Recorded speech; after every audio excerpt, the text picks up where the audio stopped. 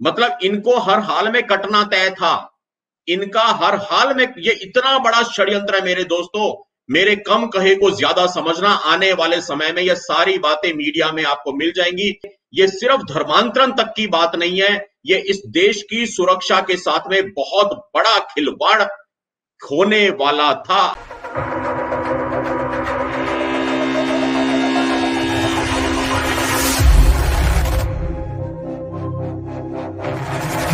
2002 में एक फ़िल्म आई थी, नाम था आँखें। अमिताभ बच्चन, अक्षय कुमार, अर्जुन रामपाल, परेश रावल, सुष्मिता सेन। कुछ याद आया मेरे दोस्तों? दृष्टि बाधित नेत्र विहीन लोगों से बैंक डकैती। ये प्लॉट था फ़िल्म का। याद कीजिए ये प्लॉट था उस फ़िल्म का 2002 तकरीबन 19-20 वर्ष हो गए हैं।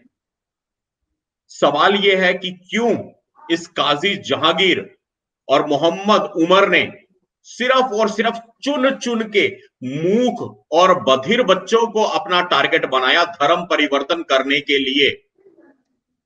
संभवतः ये हो सकता था कि किसी भीड़ भरी बाज़ार में, किसी भीड़ भरी जगह में इनको फिदाइन की तरह इस्तेमाल करते, फिदाइन मतलब एक जैकेट पहना करके, और ये बेचारे बोल नहीं सकते।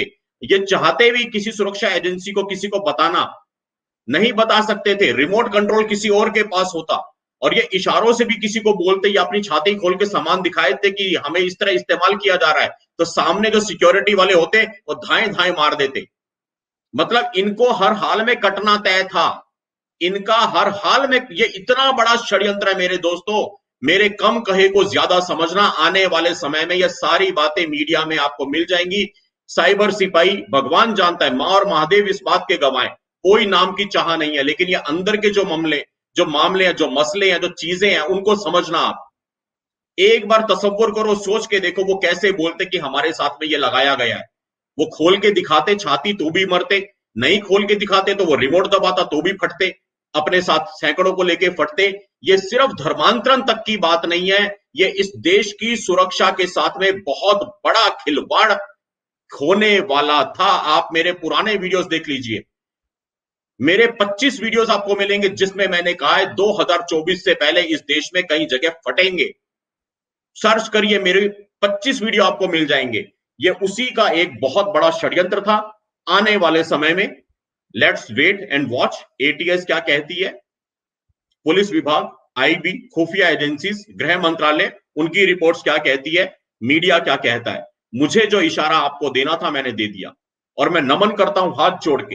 हर उस गुमनाम सिपाही को, जो बेचारा ठीक से यहाँ पे इंटरनेट के कारण कनेक्ट भी नहीं हो पाता 24 घंटे वो देश और धर्म के लिए कार्य करते हैं।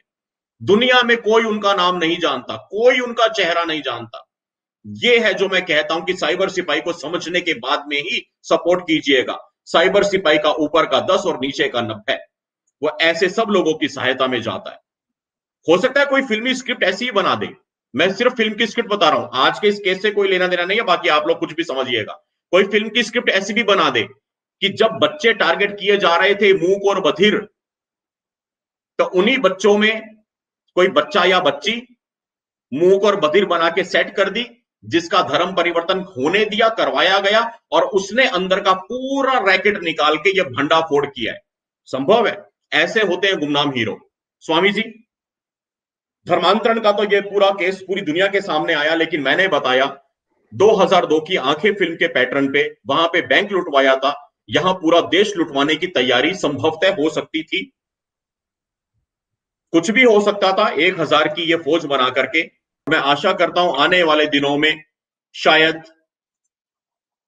बड़े बड़े विभाग एटीएस की ओर से आईबी की ओर से, सरकार के कुछ तंत्र की ओर से, गृह मंत्रालय की ओर से या कहीं से भी अगर इस विषय पे बात सामने आएगी तो पूरे देश के पैरों तले ज़मीन निकल जाएगी।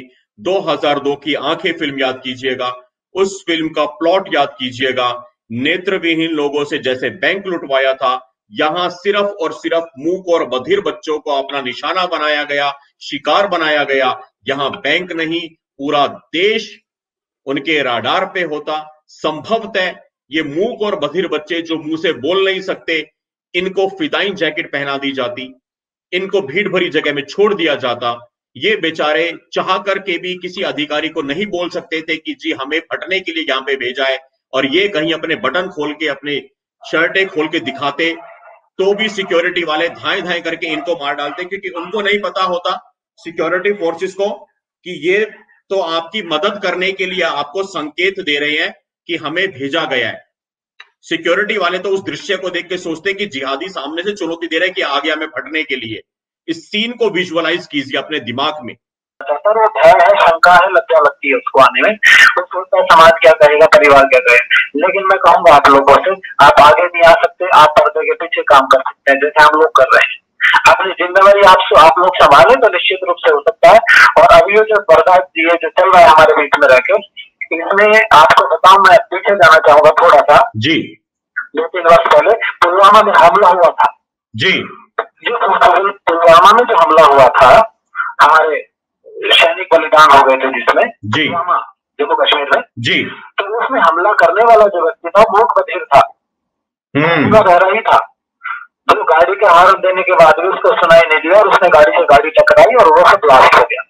ये जो मूक बधिर बच्चों को इस समय पर इकट्ठा किया गया है इनको आत्मघाती हमलों में कहीं लगाया जाता है। वाह अल्फ़ा।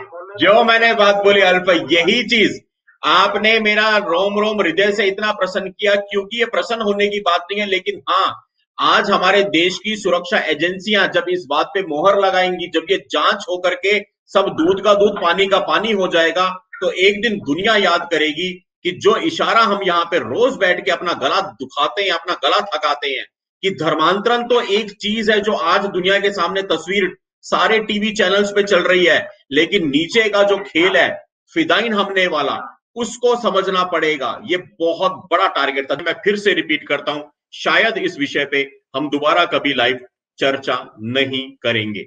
हम जितने भी केस आपके सम्मुख लेकर के आते हैं अंडर कवर वाले, उनमें मैं पहले ही एपिसोड में कहता हूँ कि इसके बाद में नहीं आएँगे। चाहे वो तिहाड़ जेल में पारे की कहानी हो, चाहे वो तिहाड़ जेल में अभी जय श्री राम के नारे की बात हो, तिहाड़ जेल में जय श्री राम के नारे की कहानी गढ़ी गई और चार दिन बाद गाजियाबाद में वो बड़ी स्क्रिप्ट लिखी गई जू बियर की ओर से, स्वरा भास्कर की ओर से, कि चच्चा को दाढ़ी काट दी, चच्चा को पीट दिया जय श्री राम का नारा बुलवा के। और आप याद कीजिए, इस पूरे प्रकरण से पाँच दिन पहले मैंने कहा था कि इशारों को समझो, कुछ बड़ा होने वाला है। है ना?